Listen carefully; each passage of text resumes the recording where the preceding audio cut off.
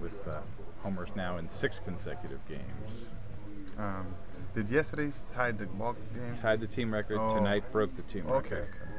okay. Um, I, I- I'm I'm very happy about that. You know, it's it's really cool. Like I don't you know I don't really keep keep track of stuff like that. Obviously, you know I'm, I'm not that uh, savvy as far as uh, numbers are concerned, but but it does feel great to to to just be in, in that bunch. You know, mentioned with, with, with, with I think Frank Thomas. I think someone said something was the last one to do it. I mean that's that's just really cool. And uh, and I keep on saying I'm just grateful that I have the chance to actually do it, the opportunity to do it.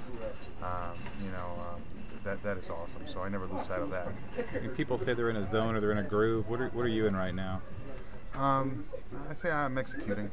You know, um, you know, I- I'm trusting myself a little bit more, uh, trusting my plan, and uh, and really seeing the ball.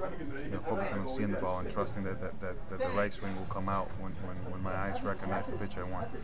So uh, there's there's there's a little bit of letting go there. You know, that is that's it's not easily accomplished. Um, but but I think uh, I've been able to do so uh, well. You know, over the last uh, week.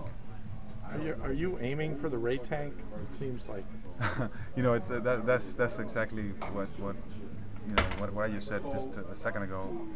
It, it, when you try, it doesn't happen. Uh, so I think uh, focusing on the, on the, on the process and ex- executing the process, it's really all that matters. You know, everything else just takes care of itself. So uh, by no means am I trying to do that. I just know that when I'm putting good swings on the ball and making good contact, that I'll be able to drive balls and the chances of me hitting a ball out will go up. You know, when, when I start, you know, uh, executing my plans and trusting myself. So it's, it's more about just increasing the possibility of it happening every single time I go out there by just having a good approach and executing it.